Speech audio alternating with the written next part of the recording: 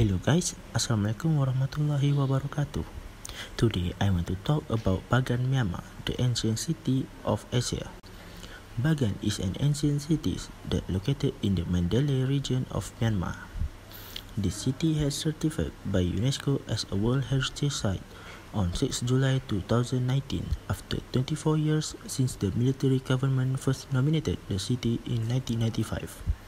From 9 to 13th century, the city was the capital of the Bagan Kingdom, the first kingdom that unified the region that would later constitute modern Myanmar. Between the 11th and 13th centuries, about 4,443 Buddhist temples, pagodas, and monasteries were constructed in the Bagan. But now, only 2,200 temples and pagodas still survive to the present days.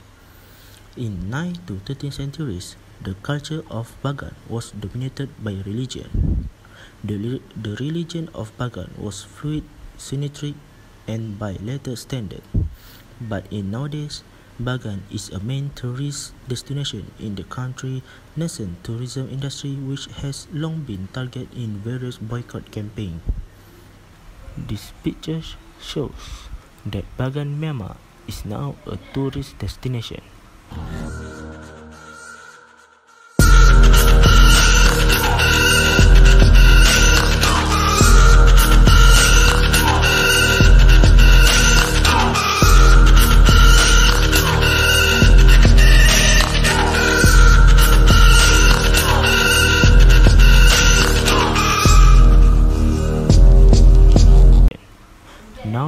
Let's we move to our discussion about the principle of the urbanization in Bagan, Myanmar.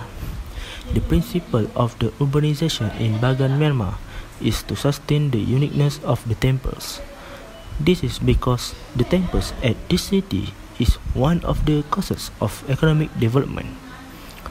Various efforts are being made by the Myanmar government to ensure that this World Heritage Site remain preserved to be a profitable tourist center. Second point is the city built based on the religious activities. The main religion in Bagan Myanmar is the Theravada Buddhism. This is why Bagan Myanmar has built a lot of temples.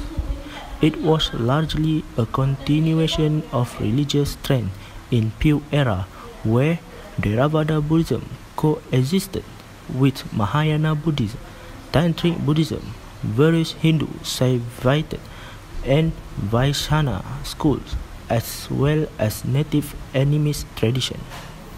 Third point is to make the city as the tourism place.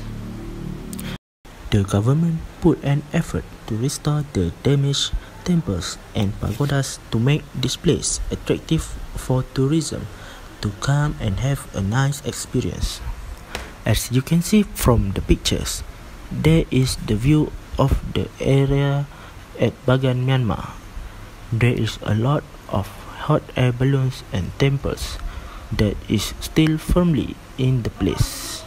That's all of my discussions. Thanks for listening and I hope you can get the points that I want to deliver to you. Thank you.